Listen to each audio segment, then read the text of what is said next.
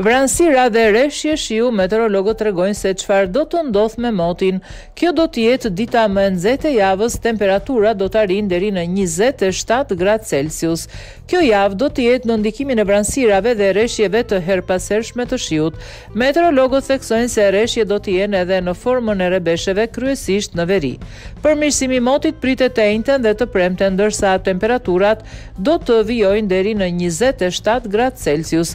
Orët vijuese do të sjellin shpejtim të vranësirave duke bërë që të kemi reshje shiu në fillim në zonat veriore, veriperëndimore dhe më pas Gradualisht reshjet do të përfshijnë të gjithë territorin shqiptar. Parashikohet që herë pas here, reshjet të jenë edhe në formën e rrebesheve kryesisht në veri. Sa i përket ditës së martë dhe të mërkurë, mbetemi në mbizotërimin e motit të paqëndrueshëm me vranësira të shpeshta të cilat herë pas here do të gjenerojnë edhe reshje shiu duke u fokusuar në zonat veriore dhe më të pakta në zonat qendrore dhe jugore Pritet një përmirësim i kushteve të motit duke filluar të enjten dhe të premten.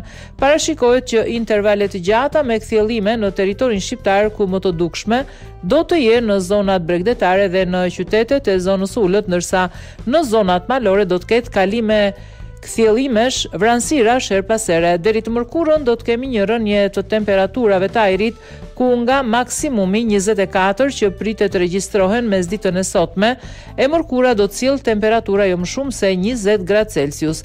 E enjtja dhe e premtja do të sjellë rritje të temperaturave të ajrit duke bërë që maksimumet të rriten deri në njëzet e shtatë gradë Celsius, thonë meteorologët.